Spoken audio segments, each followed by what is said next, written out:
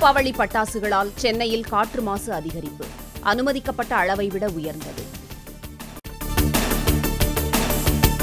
கண்ணுக்கு எதிரே சாலை தெரியாத அளவுக்கு மோசமான புகை மூட்டம். கார்கள் இருசக்கர வாகனங்களை இயக்கியவர்கள் கடும் அவதி. தாம்பரத்தை தனி மாநகராட்சியாக அறிவித்து தமிழ்நாடு அரசு அவசர சட்டம் பிறப்பிப்பு. ஐந்து நகராட்சிகள் மற்றும் ஐந்து பேரூராட்சிகளை இணைத்து உருவானது புதிய மாநகராட்சி. மாமல்லபுரம் அருகே நரிக்குறவர் மற்றும் இருளர் இன மக்களுக்கு சுமார் ஐந்து கோடி ரூபாய் மதிப்பில் நலத்திட்ட உதவிகள்.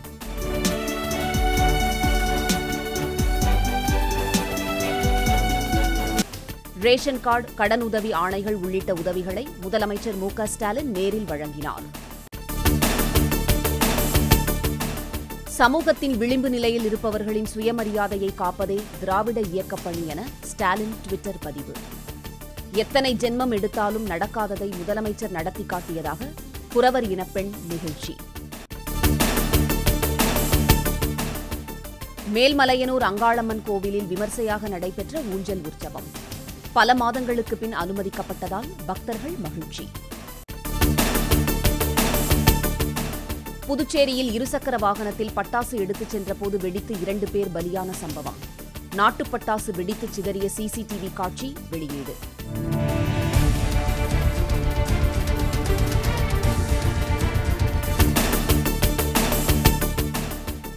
தமிழ்நாட்டில் ஒரே நாளில் தொள்ளாயிரத்து நாற்பத்தைந்து பேருக்கு புதிதாக கரோனா. பெருந்தொற்றுக்கு மேலும் பதினைந்து பேர் பலியானதாக சுகாதாரத்துறை அறிவிப்பு.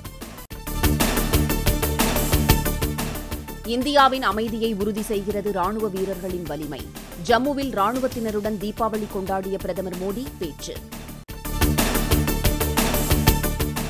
உத்தராகண்ட் மாநிலம் கேதார்நாத்திற்கு இன்று பிரதமர் மோடி வருகை. கோடிக்கணக்கான ரூபாய்க்கு நலத்திட்டங்களையும் தொடங்கி வைக்கிறார். மத்திய பிரதேச மாநிலம் சித்ரகூட்டில் முப்பது லட்சம் பேர் திரண்டனர். தீபாவளியையொட்டி ராமரின் தப்போவனத்தில் வழிபாடு. பெட்ரோல் டீசல் விலை குறைப்புக்கு இடைத்தேர்தல் முடிவுகளே காரணம் என ப. சிதம்பரம் கருத்து.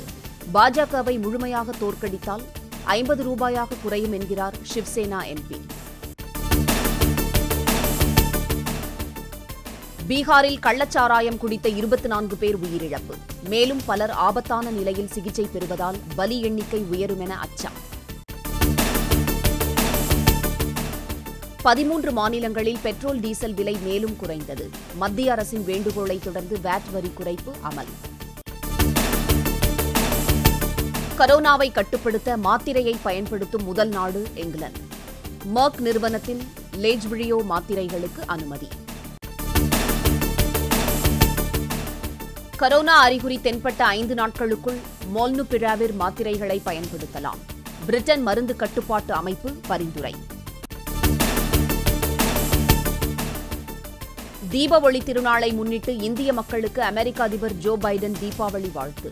வெள்ளை மாளிகையில் மனைவியுடன் சேர்ந்து தீபமேற்றிய புகைப்படத்துடன் ட்விட்டர் பதிவு. அமெரிக்க வாழ் இந்தியர்களுக்கும் இந்திய மக்களுக்கும் துணை அதிபர் கமலா ஹாரிஸ் தீபாவளி வாழ்த்து. புனிதமான மதிப்புகளை நினைவூட்டுவதாக வீடியோ வெளியீடு. Greetings, everyone. I want to extend my warmest wishes for a happy Diwali to everyone celebrating the Festival of Lights here in the United States and around the world. New York உலக பங்கு வர்த்தக மையத்தில் முதன்முறையாக தீபாவளி கொண்டாட்டம்.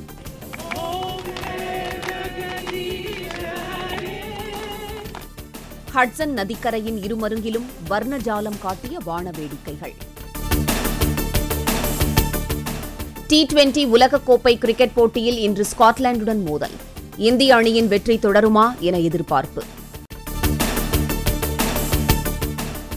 வங்கதேசத்திற்கு எதிரான super twelve சுற்றில் ஆஸ்திரேலிய அணி வெற்றி. எட்டு விக்கெட்டுகள் வித்தியாசத்தில் எளிதில் வீழ்த்தியது.